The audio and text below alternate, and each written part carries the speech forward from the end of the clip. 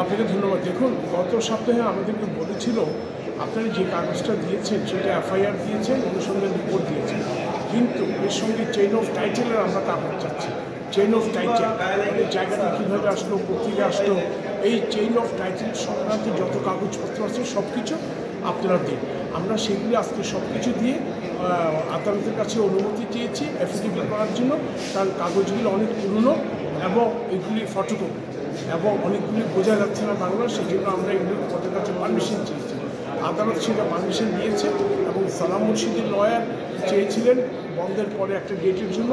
আর আমি আদালতকে বলেছি, এগুলো আমার পারমিশন এফিডেভিট করতে হবে মানে করার আগে টাইপ করতে হবে, সময় লাগবে, কাজে আমাকে দুদিন সময় দিতে হয়।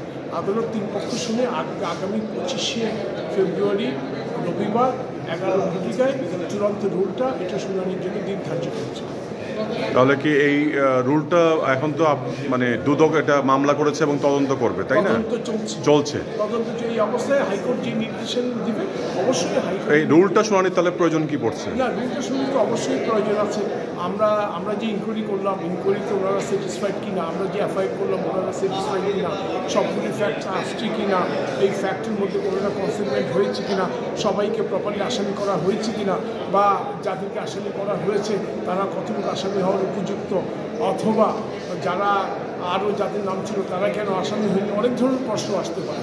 আমরা প্রত্যেকটা জিনিস খতিয়ে দেখে আমরা এটা আদালতে আইনি মোকাবিলার জন্য প্রস্তুত। আচ্ছা ওনারা বলেছেন যে আপনারা তদন্ত প্রতিবেদন দিয়েছেন ঠিকই কিন্তু এর সাথে যে আনুষঙ্গিক আরও যে নথিগুলো আছে এগুলো সবগুলো দেননি। সেগুলো আজকে চেয়েছিল চেইন অফ টাইটেল গত সাথে সেগুলো আজকে আমরা দাখিল করার জন্য অনুভূতি চেয়েছি অ্যাফিডেভিটের জন্য। এটাও কি ওই দিন জমা দেবেন? হ্যাঁ আমরা ওই দিন জমা দিব কিন্তু আমাদের যারা অপোজিট পক্ষ আছে ওদেরকে আমরা খুব শীঘ্রই এগুলি সাপ্লাই করব ওকে